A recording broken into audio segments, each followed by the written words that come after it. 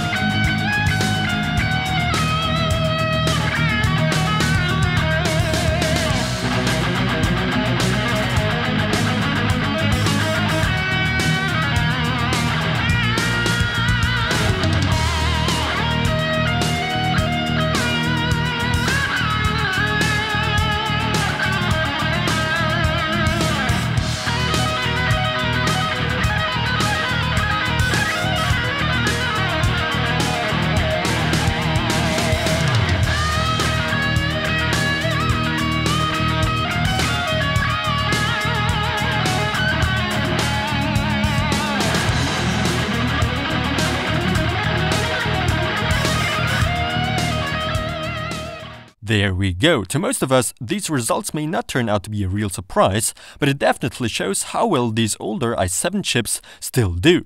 Sandy Bridge the 2600K specifically still does really well even in 2016. Hats off to Intel for doing an amazing job at increasing the frame rates in games just with the CPU alone. And I'm not talking of like 10 FPS over the years, we're often looking at 20 or more, depending on the game. The latest processor, the Skylake 6700K, does an extraordinary good job when it comes to gaming performance. The Haswell E5820K, on the other hand, falls back behind a little in that aspect. But anything that has to do with rendering, the 5820K seems to be taking the crown among the tested i7 CPUs in my list.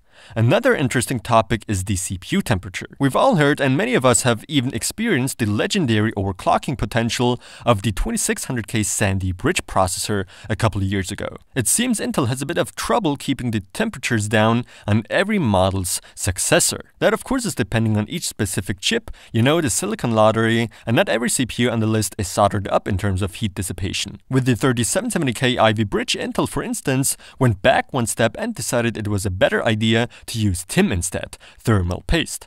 The 5820K of the Extreme lineup, however, shows amazing temperature results, thus leading to great overclocking potential and get more performance out of it. But that leads to a higher power draw. In fact, the 5820K consumes the most power of the 6 i7 CPUs tested, and that's its stock. But overall, nothing much has changed over the years when it comes to power consumption. Intel clearly focuses on balancing out the power draw and performance gain. The 2600K's age is noticeable once we look at the idle consumption, definitely not as efficient as its successors. So the conclusion here is that it can be well worth to go the upgrade path and go for one of the newer CPUs, that is if you really want the most out of your system. And also the more powerful the graphics card you pair your CPU with, the more noticeable the performance difference in games. But in general, I wouldn't say it's a must to upgrade, not at all. You saw yourselves, even the more dated chips still perform well to this day, and I believe that will continue to be so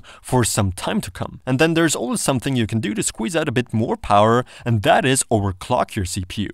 And that pretty much wraps this video up. What are your thoughts on this? Let me know. I hope you liked this quick comparison video, and maybe it made your decision on whether or not you should upgrade a little bit easier. Thanks for watching, don't forget to subscribe, and visit my website to sometimes see videos there earlier.